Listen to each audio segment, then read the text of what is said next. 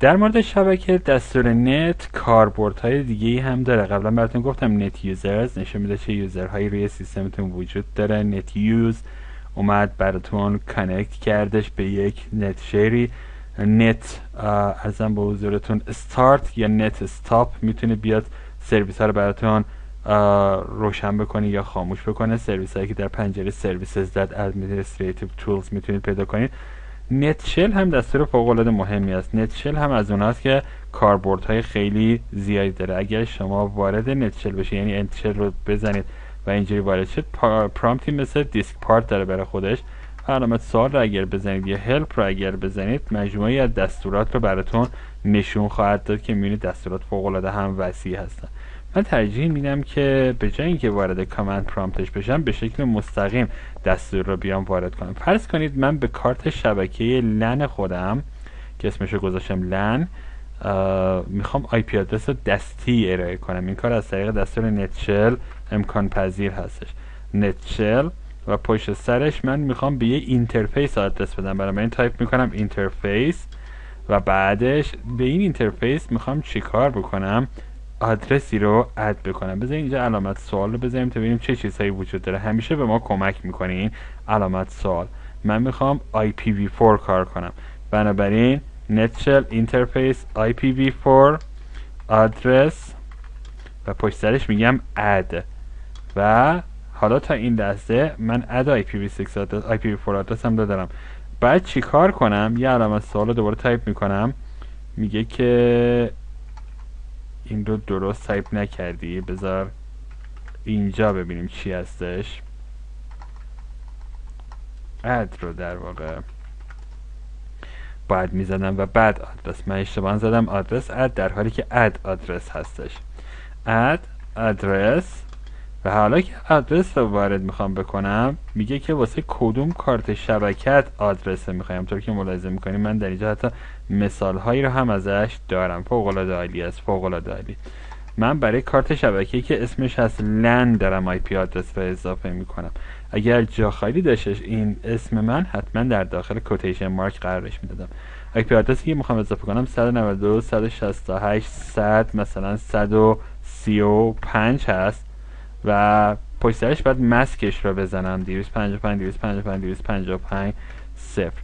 و آیا می‌خوام همین آدرس باشه یا gateway هم داشته باشم؟ رو می‌تونم انتخاب بکنم. خب آدرس رو ارائه کردم. حالا اگه بریم در property یا همیشه در ipconfig slash all نگاه بکنم. اگر نگاه بکنید همونطور که ملاحظه می‌کنید کارت شبکه که اسمش LAN هست درسته که auto configuration enable هست ولی دیگه الان از DHCP آدرس نمی‌گیره. بلکه من دستی بهش آدرس 192 168 100 135 رو اومدم ارائه کردم و subnet mask مورد نظر خودم رو بهش دادم. دستور netshell کارهای خیلی بیشتری هم می‌کنه که حالا من زیاد درش وارد نمیشم ولی همونطور که دیدید بسیار طولانی هستش لیست کارهایی که netshell میاد برای ما انجام میده. بعد از اینکه IP address رو ست کردید همیشه باید connectivity رو چک بکنید. همیشه باید مطمئن بشید که connection تون برقرار هستش. یه IP address رو که چک می‌کنید با دستور ping این هستش. ping 127 001 آدرس هایی که با 127 شروع میشن همشون به اسم آدرس loopback مشهور هستن و برای تست استفاده میشن. چه این آدرس در اینترنت هیچ وقت وجود ندارن. اگر enter رو بزنید در واقع ping خودش رو صدا می‌کنه کارت شبکه رو صدا می‌کنه. از روی این شما می‌فهمید که کارت شبکهتون کار می‌کنه. بعد از این دستور بعدی که اجرا می‌کنید ping IP address ی هستش که بهش ارائه کردید. این IP address ی هست که من بهش ارائه کردم. یعنی که من خودم رو ping می‌کنم با IP address م به این ترتیب متوجه میشم که IP address م رو هم درست دادم. و بعد از اینکه این کار رو کردم یا IP address دیگر رو چک می‌کنم که در شبکه من وجود داره. و این نشون میده که من می‌تونم به شبکه هم connect بشم. و بعد از اینکه این کار کردم نهایتا اینترنت رو ping ش خواهم کرد. ping مثلا چهار دو دو چهار. به این ترتیب ملاحظه می‌کنید transmit failure هست؟ این به خاطر این هستش که من به اینترنت connect نیستم. من در قسمت بالا network adapter م connect هست. اگر این مشکل وجود داشته باشه یعنی که من به اینترنت کانکت نیستم و بعد این رو بیام در شبکه حلش بکنم. یه بار دیگه IP config slash all رو بزنیم و مشکل رو ببینیم در اینجا چی هست.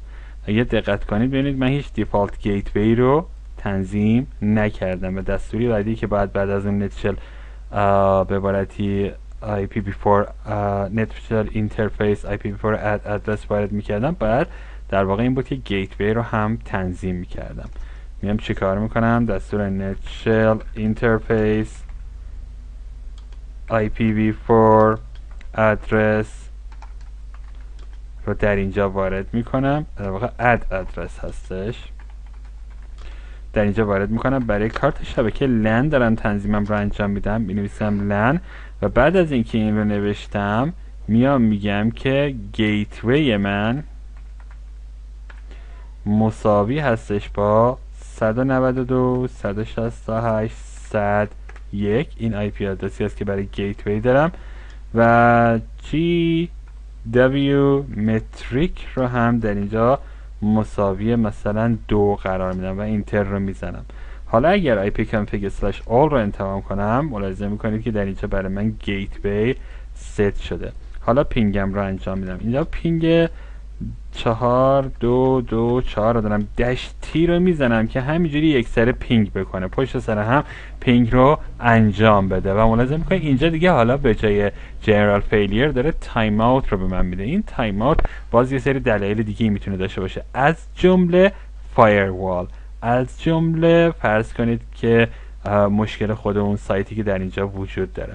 مشکل firewall رو چجوری بیام پیدا کنم؟ اینجا همین الان به من یه دونه شبکه اومده گفته که این رو جزء public network بزنم یا home network تو اومدی تنظیم کارت شبکه انجام دادی. خیلی عالیه. من public network رو در اینجا انتخاب می‌کنم و close رو می‌زنم. و بعد از اینکه این کاری کردم میرم وارد تنظیمات firewall میشم. در network internet در به عبارت control panel category اگر small icons بزنم اینجا می‌خوام مطمئن بشم که reply داره می‌رسه یا نمی‌رسه. Windows Firewall رو وارد میشم. و اینجایی که ملاحظه می‌کنید change uh, allow a program or رو می‌تونم انتخاب بکنم یا uh, به عبارتی change notification setting این allow رو بزنیم. در اینجا انتخاب بکنیم که بعضی از برنامه ها قابلیت connect شدن داشته باشن. file printer sharing public ش را اگر شما ست بکنید در این صورت اجازه ورود رو به ping ها و موارد دیگه خواهید داد. الان می‌بینید غیر فعال علتش هم این هستش که من به عبارتی به عنوان administrator در اینجا connect نیستم. بیایم در این قسمت وارد شیم و یا نه اساسا firewall من الان خاموش هست. use recommended setting رو اگر بزنم برای من firewall م روشن خواهد شد. و بعدش می‌تونم برم اینها رو تغییرش بدم در قسمت allow program و در این قسمت file م printer sharing public رو بزنم و OK بکنم و بعد از این حالا امکان ping کردن یا ICMP برای من وجود خواهد داشت. ولی فعلا از حساب می‌بینید که request time out هست. روی router خودم بیام چک بکنم ببینم آیا این مشکل وجود داره یا نه. که البته router من در واقع الان خاموش بودش نگاه کردم. به خاطر همینم می‌بینید که internet access من در اینجا موجود نیست. در هر حال ping این کار رو برای ما انجام میده. control C رو می‌زنم تا قطع بشه و همچنان کار رو ادامه خواهم داد. من الان مشکل router رو حلش کردم. ping چهار دو چهار. و چهار دو دو چهار. حالا ملاحظه می‌کنید که برای من reply می‌رسه. گهگاهی البته time out خواهد رسید. این به خاطر در واقع کند بودن ارتباط اینترنتی است که در این لحظه برقرار شده. بسیار خوب. دستور دیگه tracert هست مثلا. من می‌خوام بیام سایت یاهو رو پیدا کنم. البته می‌تونم همینجا با ping www. یا مثلا mail.yahoo dot com رو مطمئن شم که در دسترس و همونطور که ملاحظه می‌کنید در دسترس هم هستش. اما اگه می‌خوام ببینم که از چه راهی به این سایت می‌رسید می‌تونید tracert رو بزنید. mail.yahoo.com رو بزنید. یا IP address ی که همین الان دریافت شده 98 ملاحظه می‌کنید که tracert برای من یه سری پیغام ها رو میفرسته و دونه دونه router های مسیر رو پیدا می‌کنه. مثلا ابتدا به 192 168 102 می‌رسه. بعد از اون ممکنه که حالا باز یه مقدار time out بده اما در نهایت به مقصد خواهد رسید. request مون time out شده در اینجا. دستور دیگه که شبیه این هست pathping هست. با اون هم شما می‌تونید این کار رو بیاید انجام بدید.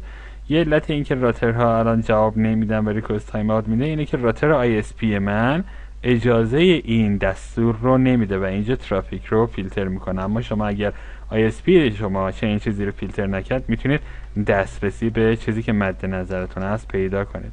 پت پینگ هم در واقع همین کار رو برای شما میاد انجام میده و شما می‌تونید با استفاده از اون متوجه بشید که مسیرتون تا به مقصد برسید چه جایی رو طی خواهد کرد و چه مسیری رو طی خواهد کرد که میگم متاسفانه ISP من این ترافیک رو فیلتر می‌کنه به خاطر اینکه مثلا حملات داس یا اینجور چیزها هم از این طریق اتفاق ممکنه بیفته در جایی که تعداد خیلی خیلی زیادی از اینجا پینکا با حجمای زیاد برای اون سرور فرستاده میشه. خب این حالا یه سری از دستورات کلی بود که در مورد شبکه براتون گفتم.